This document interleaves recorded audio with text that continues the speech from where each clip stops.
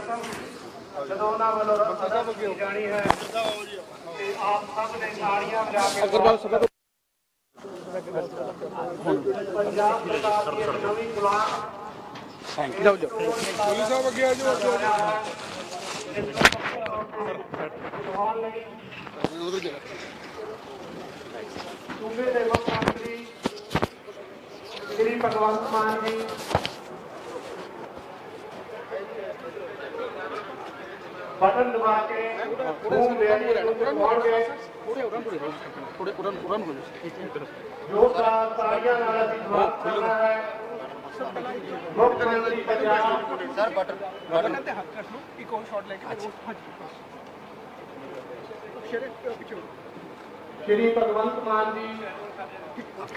ਛੋੜ ਕੇ ਚਲੇ ਜਾਓ ਤਾਂ ਬੈਰੀਕੇਡ ਤੁਸੀਂ ਮਾੜੇ ਇੱਧਰ ਆ ਕਰ ਦੇ। ਹਾਂਜੀ ਜਿੰਦਾਬਾਦ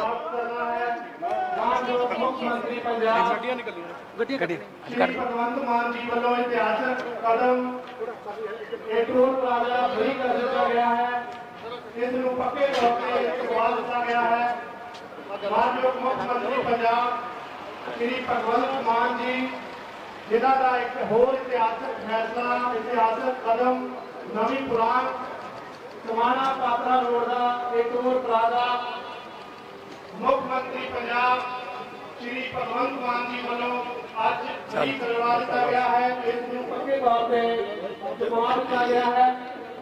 ਹੁਣ ਮਾਨਯੋਗ ਮੁੱਖ ਮੰਤਰੀ ਜੀ ਮੀਡੀਆ ਦੇ ਰੂਬਰੂ ਹੋ ਹੀ ਕੇ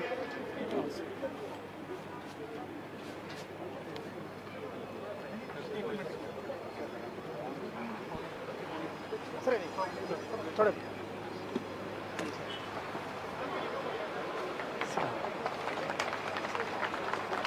ਤੁਸੀਂ ਥੋੜਾ ਜਿਹਾ ਜਾਂ ਤਾਂ ਫਿਰ ਤੁਸੀਂ ਇੱਧਰ ਆ ਜਾਓ, ਜਾਂ ਬੈਠ ਜਾਓ, ਪਿੱਛੇ ਫਿਰ ਨਾ ਜਾਓ ਜਾਂ ਤਾਂ ਅੱਗੇ ਆ ਜਾਓ, ਇੱਥੇ ਆ ਜਾਓ, ਜਾਂ ਫਿਰ ਪਿੱਛੇ ਬੈਠ ਜਾਓ।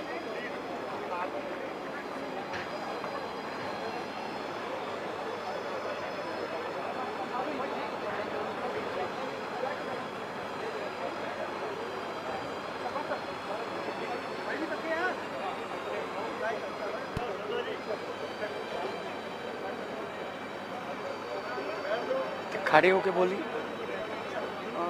ਨਹੀਂ ਉਹ ਤਾਂ ਫਿਰ ਨਹੀਂ ਕਿਉਂਕਿ ਪ੍ਰੈਸ ਤਾਂ ਰਹਿਣ ਦੇ ਪ੍ਰੈਸ ਤੇ ਆਪਾਂ ਮਾਈਕ ਹੈ ਖਾਲੀ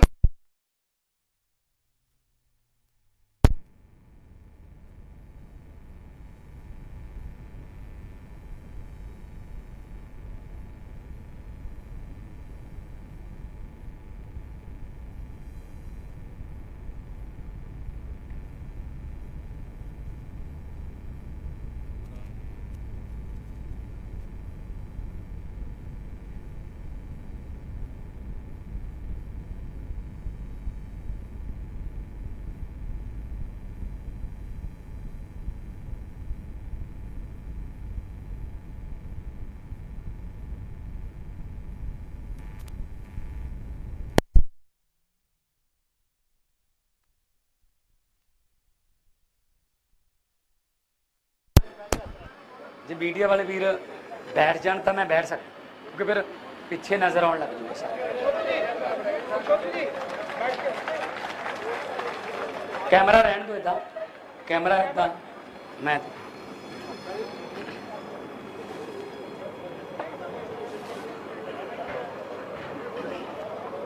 ਮੈਂ ਪੁਲਿਸ ਵਾਲੇ ਵੀਰਾਂ ਨੂੰ ਬੇਨਤੀ ਕਰਦਾ hello hello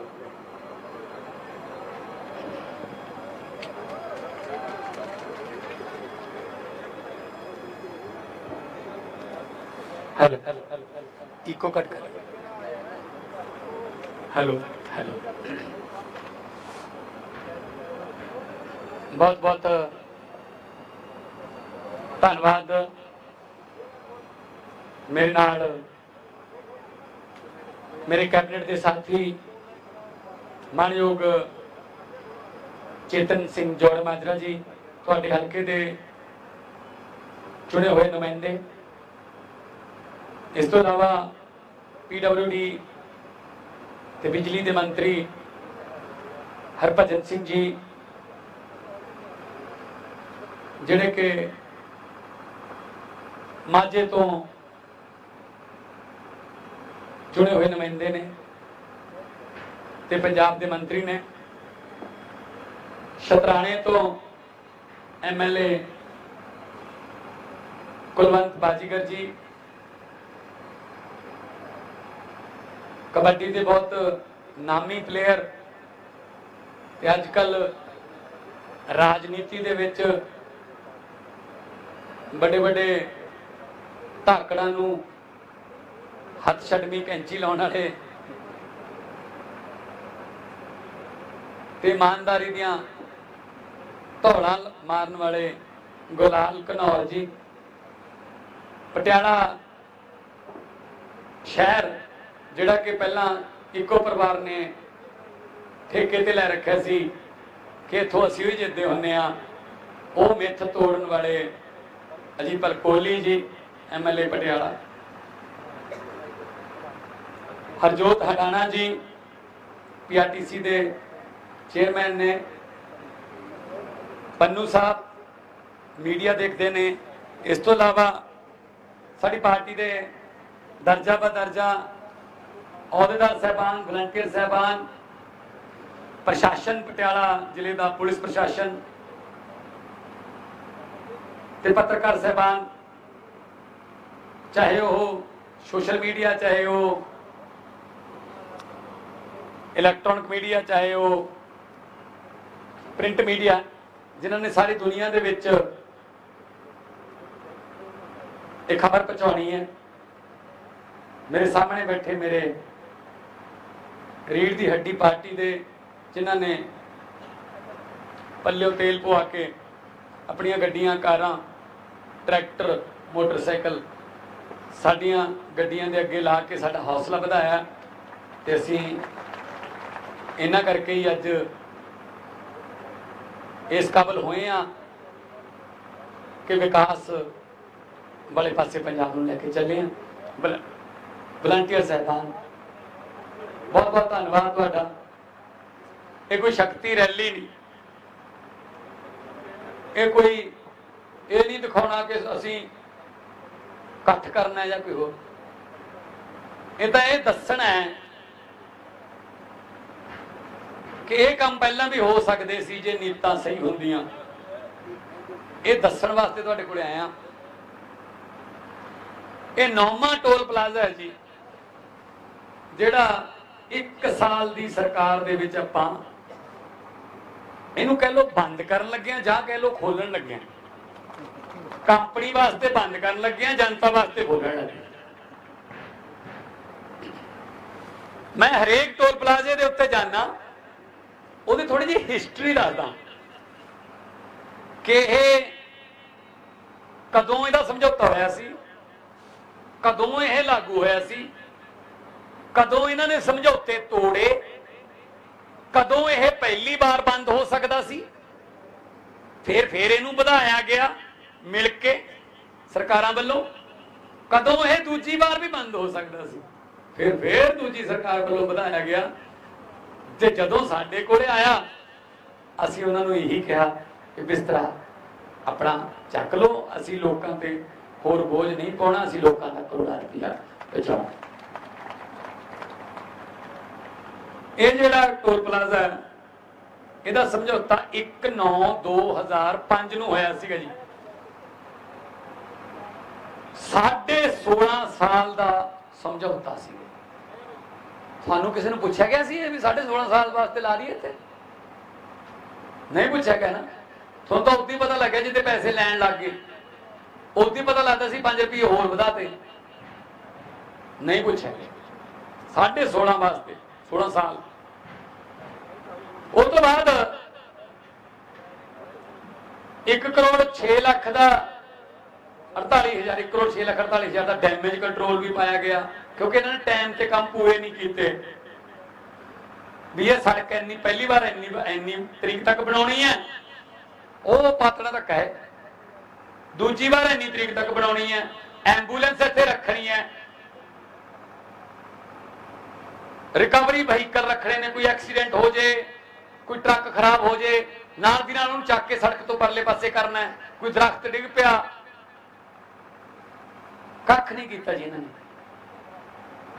ਇਹ ਟੋਲ ਪਲਾਜ਼ਾ ਦੋ ਵਾਰੀ ਮੌਕੇ ਆਏ ਸੀ। ਸਾਡੇ ਪੁਰਖਿਆਂ ਕੋਲੇ। ਪੁਰਖੇ ਹੁੰਦੇ ਆ ਜਿਹੜੇ ਸਾਡੇ ਲਈ ਛੱਡ ਕੇ ਜਾਂਦੇ ਆ ਸਮਾਨ। ਕਿਸੇ ਦਾ ਬਾਪੂ ਜਿਹੜਾ ਉਹ ਸ਼ੋਰੂਮ ਬੈਂਕ ਬੈਲੈਂਸ ਜਾਂ ਜ਼ਮੀਨਾਂ ਛੱਡ ਜਾਂਦਾ ਹੈ, ਕਿਸੇ ਦਾ ਬਾਪੂ ਗੱਡੀਆਂ ਛੱਡ ਜਾਂਦਾ ਹੈ, ਤੇ ਸਾਡੇ ਵਾਲੇ ਪੁਰਖੇ ਸਾਨੂੰ ਆਹ ਛੱਡ ਕੇ ਗਏ ਨੇ। ਕਰਜ਼ਾ ਛੱਡ ਕੇ ਗਏ ਨੇ ਪੰਜਾਬ ਤੇ। ਉਹ ਪੰਜਾਬ ਦੇ ਰਾਖੇ ਕਹਾਉਂਦੇ ਰਹੇ। 24 6 2013 ਨੂੰ ਐਗਰੀਮੈਂਟ ਦੀਆਂ ਧਾਰਾ ਮੁਤਾਬਕ ਪਹਿਲਾ ਓਵਰਲੇ ਮਤਲਬ ਪਹਿਲੀ ਵਾਰ ਸੜਕ ਦੇ ਉੱਤੇ ਲੁੱਕ ਪਾਉਣ ਦਾ ਕੰਮ ਨਾ ਕਰਨ ਬਦਲੇ 24 6 2013 ਨੂੰ ਇਹ ਟੋਲ ਪਲਾਜ਼ਾ ਬੰਦ ਹੋ ਸਕਦਾ ਸੀ। 10 ਸਾਲ ਪਹਿਲਾਂ, ਸਾਢੇ 10 ਸਾਲ। ਨਹੀਂ ਕੀਤਾ। ਸਮਝੌਤਾ ਹੋ ਗਿਆ। ਕੰਪਨੀ ਕਹਿੰਦੀ, ਇੰਨੇ ਦਿਨ ਹੋਰ ਵਧਾ ਦਿਓ। ਕਹਿੰਦੇ, ਇੰਨੇ ਦਿਨ ਕਿਉਂ? ਇੰਨੇ ਦਿਨ ਹੋਰ ਚੱਕੋ। ਸਾਡਾ ਹਿੱਸਾ ਦੇ ਲੋਕਾਂ ਦਾ ਕੀ ਹੈ? ਲੋਕਾਂ ਦਾ ਪੈਸੇ ਦੇ ਕੀ ਲੰਘਣਾ ਦੂਜੀ ਓਵਰਲੇ ਦੇ ਵਿੱਚ ਦੇਰੀ ਹੋਈ। 13 ਚ ਤਾਂ ਫਿਰ ਸਰਕਾਰ ਆਪਣਾ ਇਹਨਾਂ ਦੀ ਸੀ, ਮੰਦਬੁੱਧੀਆਂ ਦੀ। ਆਪਣਾ ਸੁਖਬੀਰ ਬਾਦਲ ਹੋਰਾਂ ਦੀ। ਉਹਨਾਂ ਦੀ ਸੀ। ਇਹਨਾਂ ਨੇ ਵਧਾਤੀ। ਸਮਝੋ, ਅੱਛਾ, ਹੋਰ ਦੇਖੋ, ਸਮਝੌਤਾ ਕਾਂਗਰਸ ਵੇਲੇ ਹੋਇਆ। ਇਹ ਰੜੇ ਹੋਏ ਦੇਖੋ ਕਿਵੇਂ ਨੇ ਹੁਣ। ਸਮਝੌਤਾ ਜਿਹੜੀਆਂ ਪੂਰੀਆਂ ਐਗਰੀਮੈਂਟ ਹੈ, ਉਹ ਕਾਂਗਰਸ ਨੇ ਫਾਈਨਲ ਕੀਤਾ ਹੈ। ਹਿੱਸਾ ਉਹਨਾਂ ਦਾ ਵੀ ਚੱਲਦਾ ਰਿਹਾ ਬਾਅਦ ਚ। ਆਗੇ ਸੱਤ ਦੇ ਵਿੱਚ ਇਹ ਸੁਖਬੀਰ ਹੋਰੀ ਸਮਝੌਤਾ ਫੇਰ ਚੱਲੀ ਗਿਆ। 13 ਦੇ ਵਿੱਚ ਰੱਦ ਹੋ ਸਕਦੀ ਸੀ, ਕਹਿੰਦੇ ਐਂ ਕਿਉਂ ਰੱਦ ਕਰਦੇ ਆ। ਚਲੋ ਚੱਕੋ। ਇੰਨੇ ਦਿਨ ਹੋਰ ਚੱਕੋ। ਦੂਜੀ ਵਾਰ ਇਹ ਐਗਰੀਮੈਂਟ 16 10 2018 16 ਅਕਤੂਬਰ 2018 ਨੂੰ ਫੇਰ ਰੱਦ ਹੋ ਸਕਦਾ ਸੀ ਟਰਮੀਨੇਟ ਕਰ ਸਕਦੇ ਸੀ ਵੀ ਤੁਸੀਂ ਕੰਮ ਨਹੀਂ ਟਾਈਮ ਤੇ ਕੀਤਾ। ਸਮਝੌਤੇ ਮੁਤਾਬਕ ਤੁਸੀਂ ਸਹੀ ਨਹੀਂ ਉਤਰ ਰਹੇ। ਚੱਕੋ ਆਪਣਾ ਬੋਰੀ ਬਿਸਤਰਾ। ਉਦੋਂ ਕਾਂਗਰਸ ਦੀ ਸਰਕਾਰ ਆ ਗਈ ਸੀ। ਉਹ ਕਹਿੰਦੇ ਜਦੋਂ ਹੁਣ ਵਿਚਾਰਿਆਂ ਨੇ ਸਾਡਾ ਇੰਨਾ ਸਾਥ ਦਿੱਤਾ ਹੈ, ਕਾਲੀਆਂ ਨੇ ਹੁਣ ਅਸੀਂ ਨਾ ਸਾਥ ਦੇਈਏ ਫਿਰ। ਨਹੀਂ ਕਰਦੇ ਜੀ ਬੰਦ ਨਹੀਂ ਕਰਦੇ। ਲੋਕਾਂ ਦਾ ਕੀ ਹੈ?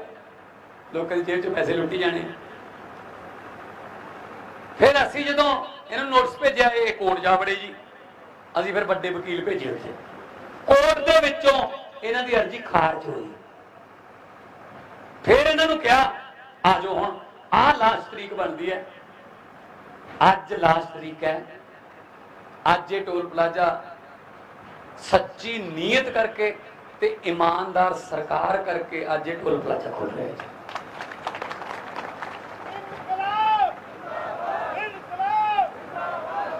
ਤਿੰਨ ਲੱਖ 80 ਹਜ਼ਾਰ ਰੁਪਈਆ ਹਰ ਰੋਜ਼ ਦਾ ਜੀ। ਦੇਖੋ 3 ਲੱਖ 80 ਹਜ਼ਾਰ ਰੁਪਈਆ ਰੋਜ਼ ਦਾ ਬਚੂਗਾ ਜੀ ਲੋਕਾਂ ਦਾ। ਭਾਵੇਂ ਤੁਸੀਂ ਸੀ, ਭਾਵੇਂ ਕੋਈ ਇੱਥੋਂ ਪਾਤੜਾਂ ਨੂੰ ਲੰਘਦਾ ਸੀ, ਖਨੌਰੀ ਨੂੰ ਲੰਘਦਾ ਸੀ, ਦਿੱਲੀ ਨੂੰ ਜਾਂਦਾ ਸੀ, ਭਾਵੇਂ ਕੋਈ ਹਰਿਆਣੇ ਨੂੰ ਜਾਂਦਾ ਸੀ ਜਾਖਲ ਟੋਹਾਣੇ ਨੂੰ, ਇੱਥੋਂ ਲੰਘਣਾ ਪੈਂਦਾ ਸੀ। ਆਉਂਦੇ ਜਾਂਦੇ ਤੋਂ ਪੈਸੇ ਲੈਂਦੇ ਸੀ। 3 ਲੱਖ 80 ਹਜ਼ਾਰ ਰੁਪਈਆ ਇੱਕ ਦਿਨ ਦਾ। ਜੇ ਸਾਡਾ ਮਾਫੀਆ ਬਣਾਇਆ ਹੁੰਦਾ ਜੀ ਅਸੀਂ ਵੀ ਕਹਿੰਦੇ ਚੱਕ ਲਓ 400 ਦਿਨ ਹੋਰ ਤੇ ਸਾਡੇ 200 ਦਿਨ ਦੇ ਪੈਸੇ ਪਹਿਲਾਂ ਪਹੁੰਚਾ ਦਿਓ। ਤੁਸੀਂ ਕਿਹੜਾ ਰੌਲਾ ਪਾਉਣਾ ਸੀ ਕੋਈ? ਤੁਸੀਂ ਕਿਹੜਾ ਉਹਨੂੰ ਪੁੱਛਣਾ ਸੀ ਬਾਈ ਕਿੰਨਾ ਕੁ ਚਿਰ ਚੱਲੂ ਇਹ? ਪਰ ਲੋਕਾਂ ਦੀ ਸਰਕਾਰ ਆ ਗਈ, ਅਸੀਂ ਲੋਕ ਬਣ ਕੇ, ਜਨਤਾ ਬਣ ਕੇ ਇਹਨਾਂ ਨੂੰ ਪੁੱਛਦੇ ਹਾਂ ਬਾਈ ਕਿੰਨਾ ਕੁ ਚਿਰ ਚੱਲੂ ਇਹ? ਇਹ ਲੁੱਟ ਕਿੰਨਾ ਕੁ ਚਿਰ ਚੱਲੂ? ਇੰਨੀ ਤਰੀਕ ਨੂੰ ਐਂ ਕਰ ਦਾਂਗੇ ਜੀ, ਇੰਨੀ ਤਰੀਕ ਨੂੰ ਕੋਰਟ ਕਰ ਲੂਗੀ ਜੀ ਸਾਰੀਆਂ ਕੋਰਟਾਂ ਕੂਟਾਂ 'ਚ ਵੱਡੇ ਵਕੀਲ ਭੇਜ ਕੇ ਅਸੀਂ ਇਹ ਮਾਮਲਾ ਜਿੱਤ ਕੇ ਅੱਜ ਤੁਹਾਡੇ ਸਾਹਮਣੇ ਬੈਠੇ ਹਾਂ। ਸਾਡਾ ਫਰਜ਼ ਬਣਦਾ ਉਹਨਾਂ ਵਕੀਲਾਂ ਨੂੰ ਫੀਸਾਂ ਦਿੰਦੇ ਆ ਅਸੀਂ। ਸਰਕਾਰ ਨੇ ਰੱਖੇ ਹੋਏ ਨੇ, ਕਾਹਦੇ ਬਾਤ ਰੱਖੇ ਹੋਏ ਨੇ ਉਹ? ਇਸੇ ਕੰਮ ਬਾਤ ਰੱਖੇ ਨੇ ਕਿ ਉਹ ਕੇਸ ਜਿੱਤ ਕੇ ਦੇਣ ਸਰਕਾਰ ਨੂੰ? ਇਦੋਂ ਪਹਿਲਾਂ ਵਕੀਲ ਹੀ ਹੋਰ ਹੁੰਦੇ ਸੀ। ਵਕੀਲ ਹੀ ਕਹਿੰਦੇ ਸੀ, ਮੈਂ ਆਉਣਾ ਹੀ ਨਹੀਂ ਉਦੋਂ ਤੁਸੀਂ ਚੱਕ ਲਓ ਕੰਮ ਨੂੰ। ਐ ਹੁੰਦਾ ਰਿਹਾ। ਇਦੋਂ ਪਹਿਲਾਂ ਨਾ ਹੋ ਗਿਆ ਫਿਰ ਬੇਅਦਬੀ ਵਾਲਾ ਚਲਾਨ ਪੇਸ਼ ਇਦੋਂ ਪਹਿਲਾਂ ਨਾ ਹੋ ਗਿਆ। ਅਸੀਂ ਕਿਵੇਂ ਕਰਤਾ ਹੁਣ ਸਾਰੀ ਸਾਲ ਚ? ਮਾਫ ਹੈ ਸੋ ਇਸ ਕਰਕੇ ਇਸ ਕੰਪਨੀ ਨਾਲ ਹਜੇ ਤੋਂ ਪੈਸੇ ਲੈਣੇ ਨੇ, ਐ ਨਹੀਂ ਛੱਡਦੇ ਸੀ ਜੋ ਇਹਨਾਂ ਨੇ ਨੁਕਸਾਨ ਕੀਤਾ ਐਗਰੀਮੈਂਟ ਤੋੜ ਕੇ, ਉਹ ਪੈਸੇ ਵੀ ਲਵਾਂਗੇ। ਲੋੜ ਪਈ ਤਾਂ ਐਫ ਆਈ ਆਰ ਵੀ ਕਰਾਂਗੇ, ਕਿਉਂਕਿ ਇਸ ਕੰਪਨੀ ਦੇ ਪੂਰੇ ਮੁਲਕ 'ਚ ਟੋਲ ਪਲਾਜ਼ੇ ਨੇ। ਜੇ ਐਫ ਆਈ ਆਰ ਕਰਕੇ ਅਸੀਂ ਇਹਨਾਂ ਨੂੰ ਬਲੈਕ ਲਿਸਟ ਕਰ ਦਈਏ, ਸਾਰੇ ਮੁਲਕ 'ਚ ਇਹਨੂੰ ਠੇਕਾ ਨਹੀਂ ਮਿਲਣਾ ਕਿਤੇ। ਇਹਨਾਂ ਦੇ ਕੀਤੇ ਨੇ ਬੰਦ ਪਹਿਲਾਂ ਤੋਂ ਹੁਸ਼ਿਆਰਪੁਰ ਕਨੀ। ਨੌਵਾਂ ਹੈ ਅੱਜ ਇਹ। ਤੁਸੀਂ ਅੱਛਾ, ਨਾ ਤੁਹਾਨੂੰ ਕਿਸੇ ਨੇ ਇਹ ਦੱਸਿਆ। ਇਸ ਐਗਰੀਮੈਂਟ ਮੁਤਾਬਕ ਆਲੇ ਦੁਆਲੇ ਦੇ 15 ਕਿਲੋਮੀਟਰ ਦੇ ਇਸ ਟੋਲ ਪਲਾਜ਼ੇ ਦੇ ਆਲੇ ਦੁਆਲੇ ਦੇ 15 ਕਿਲੋਮੀਟਰ ਦੇ ਰੇਡੀਅਸ ਦੇ ਵਿੱਚ ਜਿੰਨੇ ਵੀ ਪਿੰਡ ਪੈਂਦੇ ਨੇ, ਉਹਨਾਂ ਦੇ ਜਿਹੜੇ ਵਹੀਕਲ ਨੇ, ਉਹਨਾਂ ਦੇ ਜਿਹੜੀਆਂ ਗੱਡੀਆਂ ਨੇ ਆਰਸੀ ਤੋਂ ਪਤਾ ਲੱਗ ਜਾਂਦਾ ਕਿ ਇਸ ਪਿੰਡ ਦੇ ਨਾਂ ਤੇ ਦਰਜ ਹੈ, ਉਹਨਾਂ ਦਾ 100 ਰੁਪਏ ਮਹੀਨੇ ਦਾ ਜਾਂ 200 ਰੁਪਏ ਮਹੀਨੇ ਦਾ ਪਾਸ ਲੈਂਦਾ ਤੁਹਾਡੇ ਪਿੰਡਾਂ ਦਾ ਬਣਿਆ ਜੀ ਪਾਸ ਕੋਈ? ਹੈ ਜੀ? ਇਸੇ ਗੱਲ ਦੇ ਆਧਾਰ ਤੇ ਅੱਜ ਤੋਂ 10 ਸਾਲ ਪਹਿਲਾਂ ਇਹ ਇਹ ਟੋਲ ਪਲਾਜ਼ਾ ਬੰਦ ਹੋ ਸਕਦਾ ਸੀ। ਕਦੇ ਐਂਬੂਲੈਂਸ ਇੱਥੋਂ ਗਈ ਹੋਵੇ ਤੇ ਉਹਨੇ ਚੱਕ ਕੇ ਕੋਈ ਰਜਿੰਦਰਾ ਹਸਪਤਾਲ 'ਚ ਮਰੀਜ਼ ਪਹੁੰਚਾਇਆ ਹੋਵੇ। ਕਦੇ ਇੱਥੋਂ ਕੋਈ ਰਿਕਵਰੀ ਬੈਨ ਗਈ ਹੋਵੇ ਤੇ ਉਹਨੇ ਚੱਕ ਕੇ ਸਫੈਦਾ ਡਿੱਗ ਪਿਆ ਜਾਂ ਕੋਈ ਟਾਲੀ ਡਿੱਗ ਪਈ ਸੜਕ ਤੇ ਨੇਰੀ ਨਾਲ ਉਹ ਚੱਕੀ ਹੋਵੇ। ਜਾਂ ਕੋਈ ਐਕਸੀਡੈਂਟ ਹੋ ਗਿਆ, ਉਹ ਕਲੀਅਰ ਕੀਤਾ ਹੋਵੇ, ਜਾਂ ਪੈਸੇ ਫੜੋ ਇਧਰੋਂ ਆਉਂਦਿਆਂ ਤੋਂ ਇਧਰੋਂ ਆਉਂਦੇ ਔਰ ਇਹਨਾਂ ਨੂੰ ਵੀ ਐਂ ਸੀ ਵੀ ਇਹੀ ਦੋਨੇ ਸਰਕਾਰਾਂ ਚੱਲਣਗੀਆਂ ਇਹਨਾਂ ਦੋਨਾਂ ਨਾਲ ਸੈਟਿੰਗ ਹੈ। ਇਹਨਾਂ ਨੂੰ ਇਹ ਨਹੀਂ ਪਤਾ ਸੀ ਤੀਜਾ ਮਹਿੰਦਰ ਮਾਹਟ ਦਾ ਮੁੰਡਾ ਵੀ ਪਿਆ ਹੈ ਜੀ। ਰੱਬ ਨੇ ਉਹਨੂੰ ਵੀ ਮੌਕਾ ਦੇਣਾ ਹੈ, ਕੋਈ ਸੇਵਾ ਦਾ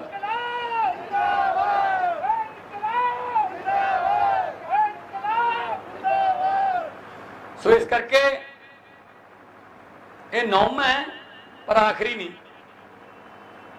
ਸਾਰਿਆਂ ਨੂੰ ਕਹਤਾ ਮੈਂ ਲਿਖੋ ਵੀ ਤਰੀਕ ਆਪਦੀ ਆਪਦੀ ਕਿ ਕਿੰਨੀ ਤਰੀਕ ਨੂੰ ਤੁਹਾਡਾ ਟੋਲ ਪਲਾਜ਼ਾ ਖਤਮ ਹੋ ਰਿਹਾ ਉਹ ਤੋਂ ਇੱਕ ਦਿਨ ਵੀ ਵੱਧ ਮੰਗੋਗੇ ਨਾ। ਕਹਿੰਦੇ ਕਈ ਕਰੋਨਾ ਦੇ ਦਿਓ ਜੀ ਸਾਨੂੰ ਦਿਨ। ਸਾਨੂੰ ਜੀ 242 ਦਿਨ ਦਿਓ। ਇਹ ਇਹਨਾਂ ਦਿਨ ਕਹਿੰਦੇ ਨੇ ਇਹ ਬਹੁਤ ਚਲਾਕ ਨੇ। ਸਾਲ ਨਹੀਂ ਕਹਿੰਦੇ। ਦਿਨ ਕਹਿੰਦੇ ਨੇ। ਸਾਨੂੰ ਜੀ 411 ਦਿਨ ਦੇ ਦਿਓ, ਪੌਣੇ 2 ਸਾਲ ਹੋ ਗਏ। ਕਹਿੰਦੇ ਕਰੋਨਾ ਦੇ ਦਿਨ ਦਿਓ ਜੀ। ਅਸੀਂ ਕਰੋਨਾ ਸਾਰਿਆਂ ਤੇ ਆਇਆ ਸੀ। ਕਹਿੰਦੇ ਸਾਡੇ ਹੋਏ ਤਾਂ ਗੱਡੀਆਂ ਨਹੀਂ ਲੰਘੀਆਂ। ਮੈਂ ਸਰਕਾਰ ਨੇ ਪਾਬੰਦੀ ਲਾਈ ਸੀ ਜਾਂ ਮੋਦੀ ਤੋਂ ਲੈ ਲਓ। ਉਹਨਾਂ ਨੇ ਕਿਹਾ ਸੀ, ਬਾਹਰ ਨਹੀਂ ਨਿਕਲਣਾ। ਨਾ ਤਾਂ ਸਾਡੇ ਪਾਬੰਦੀ ਲਾਤੀ। ਵੀ ਬਾਹਰ ਨਹੀਂ ਨਿਕਲਣਾ। ਗੱਡੀ ਨਹੀਂ ਕੋਈ ਬਾਹਰ ਨਿਕਲੂਗੀ। ਨਾਲੇ ਗੱਡੀਆਂ ਦੀਆਂ ਕਿਸ਼ਤਾਂ ਲੈ ਗਏ। ਨਾਲੇ ਕਹਿੰਦੇ ਇਹਨੂੰ ਦਿਓ ਜੀ ਹੋਰ ਦਿਨ ਹੁਣ। ਇਹ ਵੱਧ ਟਾਈਮ ਲੈਣਗੇ, ਕੋਈ ਕਰੋਨਾ ਵੇਲੇ ਤੁਸੀਂ ਗੱਡੀ ਬਾਹਰ ਨਹੀਂ ਕੱਢੀ, ਪੈਸੇ ਦਿਓ, ਸਾਡੇ ਪੂਰੇ ਕਰੋ। ਤੇ ਕਰੋਨਾ ਸਾਡੇ ਕੱਲਿਆਂ ਤੇ ਆਇਆ ਸੀ, ਜਨਤਾ ਤੇ। ਸਾਰਿਆਂ ਤੇ ਆਇਆ ਸੀ। ਇਟਸ ਐਕਟ ਆਫ ਗੋਡ ਇਹ ਕੁਦਰਤੀ ਆਫਤ ਹੈ। ਇਹ ਉਹ ਐਗਰੀਮੈਂਟ 'ਚ ਲਿਖਿਆ ਹੋਇਆ, ਕੁਦਰਤੀ ਆਫਤ ਦਾ ਕੋਈ ਪੈਸਾ ਨਹੀਂ ਮੰਗ ਸਕਦੇ ਤੁਸੀਂ। ਪਰ ਜਿਹੜੀਆਂ ਕੁਦਰਤੀਆਂ ਆਫਤਾਂ ਆਪਾਂ ਨੂੰ ਪਹਿਲਾਂ ਭੇਜੀਆਂ ਸੀ ਸੁਖਵੀਰ ਬਾਦਲ ਵਰਗੀਆਂ, ਉਹ ਬੈਠੇ ਸੀ ਨਾ ਪਹਿਲਾਂ। ਉਹਨਾਂ ਨੇ ਉਹਨਾਂ ਨੇ ਨਹੀਂ ਬਦਲ ਦਿੱਤਾ। ਸੋ ਇਸ ਕਰਕੇ ਇਹ ਸਰਕਾਰ ਲੋਕਾਂ ਦੀ ਹੈ, ਤੁਹਾਡੀ ਹੈ, ਤੁਸੀਂ ਯਕੀਨ ਕਰਦੇ ਹੋ ਸਾਡੇ 'ਚ, ਤਾਂ ਕਰਕੇ ਅਸੀਂ ਇਹ- ਇਹ ਹੈ ਜੇ ਕੰਮ ਕਰ ਰਹੇ ਹਾਂ। ਆ ਬਟਨ ਦੱਬਿਆ ਅੱਜ ਮੈਂ। ਮੈਂ ਹਰ ਰੋਜ਼ ਇੱਕ ਦਿਨ 'ਚ ਤਿੰਨ ਜਾਂ ਚਾਰ ਬਟਨ ਦਬਦਾ। ਕਦੇ ਕਿਸੇ ਸੀਵਰੇਜ ਦਾ ਉਦਘਾਟਨ ਹੈ ਬਟਨ ਦੱਬ ਕੇ ਅੱਜ ਕੱਲ ਹੁੰਦੇ ਨੇ। ਕਦੇ ਕਹਿੰਦੇ ਨੇ, ਆਹ ਬਟਨ ਦੱਬ ਦਿਓ ਜੀ, ਆਹ ਸਕੂਲ ਦਾ ਉਦਘਾਟਨ ਹੋ ਜਾਊਗਾ ਐ, ਪਰਦਾ ਜਿਹਾ ਖੁੱਲ ਜਾਂਦਾ ਕਦੇ ਕਹਿੰਦੇ ਨੇ ਜੀ, ਆਹ ਬਟਨ ਦੱਬ ਦਿਓ, ਇਹਦੇ ਨਾਲ ਆਪਣਾ ਵੇਰਕਾ ਦਾ ਮਿਲਕ ਪਲਾਂਟ ਦਾ ਨਵਾਂ ਬਣਾਇਆ, ਉਹ ਖੁੱਲ ਜਾਊਗਾ ਮੈਂ ਤਿੰਨ ਚਾਰ ਬਟਨ ਰੋਜ਼ ਦਬਦਾ। ਫਿਰ ਮੈਂ ਸੋਚਦਾ ਹੁੰਨਾ ਭਗਵੰਤ ਮਾਨਾ ਇਹ ਬਟਨ ਦੱਬਣ ਤੈਨੂੰ ਕਿਹਨੇ ਲਾਇਆ? ਕਿਉਂਕਿ ਸਵਾ ਕੁ ਸਾਲ ਪਹਿਲਾਂ ਤੁਸੀਂ ਇੱਕ ਬਟਨ ਦੱਬਿਆ ਸੀ, ਝਾੜੂ ਗਲਾ ਉਹ ਬਟਨ ਦੱਬਣ ਕਰਕੇ ਮੈਂ ਇਹ ਬਟਨ ਦੱਬਣਾ। ਤੁਸੀਂ ਉਹ ਬਟਨ ਦੱਬਿਆ, ਤੁਸੀਂ ਇੱਕ ਵਾਰੀ ਦੱਬਿਆ, ਪੰਜ ਸਾਲ ਹੁਣ ਮੈਂ ਦੱਬੂਗਾ। ਤੁਹਾਡੇ ਹੱਕ ਵਾਲੇ ਬਟਨ, ਜਿਹੜੇ ਤੁਹਾਡੇ ਹੱਕ ਚੱਲਣ। ਸਕੂਲ ਬਣਾ ਰਹੇ ਆ ਮਹੱਲਾ ਕਲੀਨਿਕ ਬਣ ਰਹੇ ਨੇ।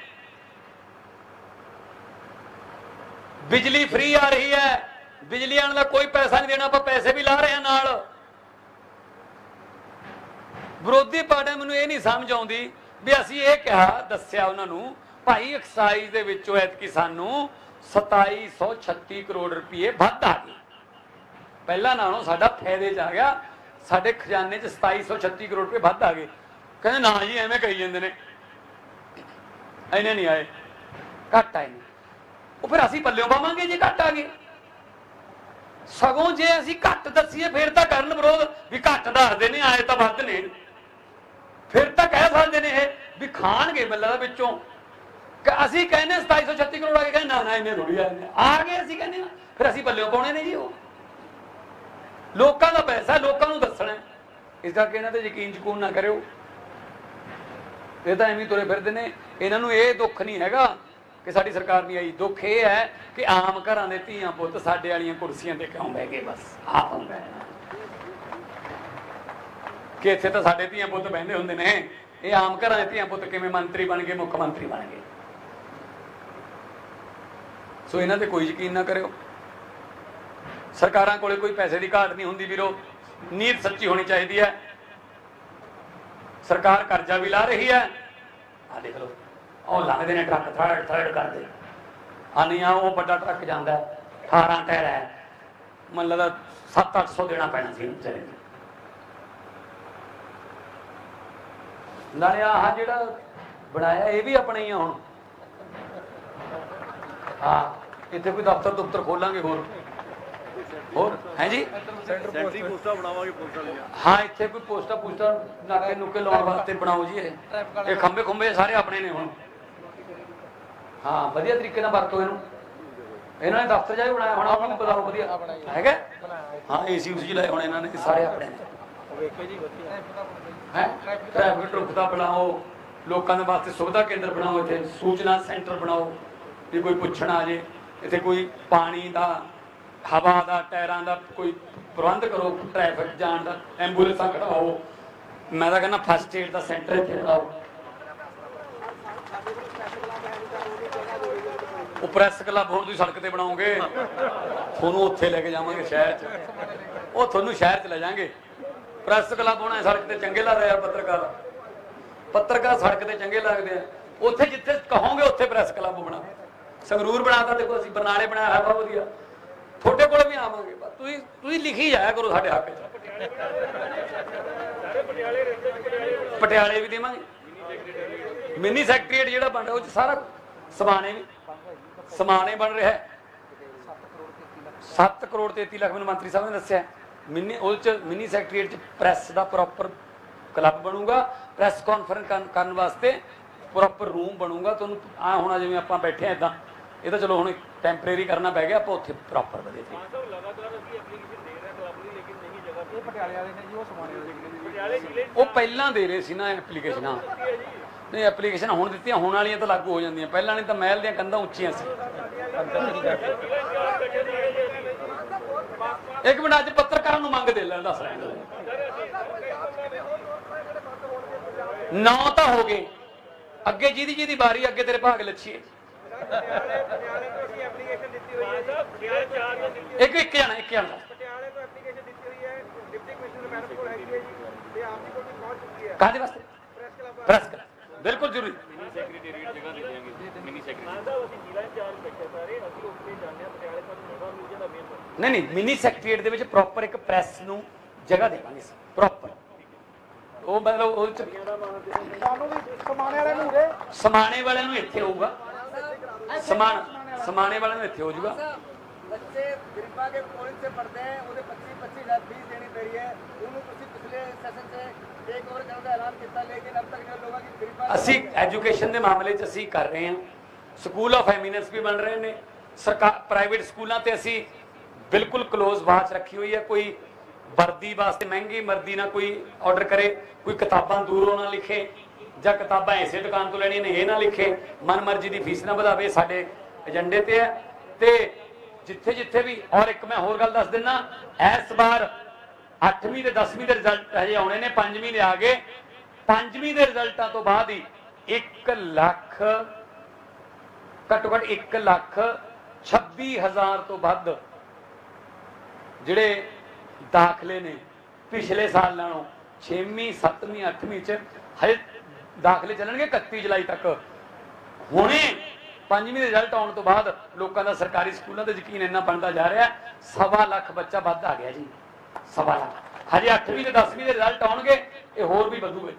ਬਹੁਤ ਜ਼ਿਆਦਾ ਵਧੂਗਾ, ਕਿਉਂਕਿ ਅਸੀਂ ਯਕੀਨ ਬਹਾਲ ਕਰਨਾ ਹੈ ਸਰਕਾਰੀ ਸਕੂਲਾਂ ਦਾ, ਕਿ ਲੋਕਾਂ ਨੂੰ ਵਿਸ਼ਵਾਸ ਹੋ ਜਾਏ ਕਿ ਮੇਰੇ ਬੱਚੇ ਇੱਥੇ ਪੜ੍ਹ ਕੇ ਵੀ ਅਫਸਰ ਬਣਨਗੇ, ਜਿਵੇਂ ਦਿੱਲੀ ਦੇ ਵਿੱਚ ਹੋਇਆ ਅਰਵਿੰਦ ਕੇਜਰੀਵਾਲ ਜੀ ਨੇ ਕੀਤਾ ਹੈ ਕਿ ਪ੍ਰਾਈਵੇਟਾਂ ਚੋਂ ਹਟਾ ਕੇ ਲੋਕ ਸਰਕਾਰੀ ਚਲਾਉਣ ਲੱਗੇ ਉਹੀ ਇੱਥੇ ਕਰਨਾ ਹੈ।